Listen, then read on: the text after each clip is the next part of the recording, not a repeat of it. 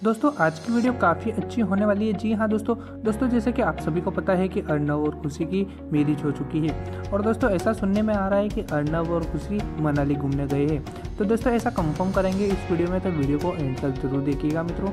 दोस्तों, वीडियो काफ़ी शानदार होने वाली है।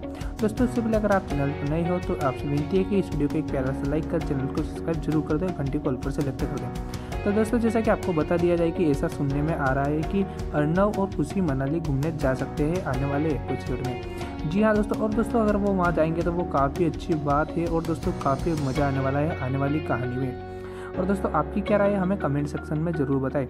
और दोस्तों, आने वाले समय में ये नाटक बहुत ही ज़्यादा पॉपुलर होने वाली है। दोस्तों, इसमें बहुत ही पॉपुलर और रोमांटिक हिस्से जुड़े हुए हैं। जो आने वाले समय में आपको कहानी को बहुत ही इंटरेस्टिंग बनाने वाले हैं।